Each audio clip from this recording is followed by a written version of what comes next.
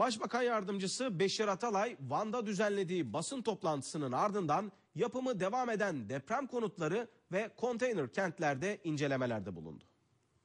Mutfaktan sıcak su akacak değil mi?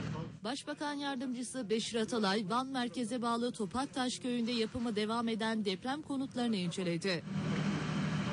Burada üç köyde yaşayan vatandaşlarla mutabakat sağlandıktan sonra TOKİ tarafından deprem konutlarının yapımına başlandığını hatırlatan Atalay, diğer köylülerle de mutabakat sağlayarak villa gibi evler yapmayı arzu ettiklerini ifade etti. Köyümüz şimdi biliyorsun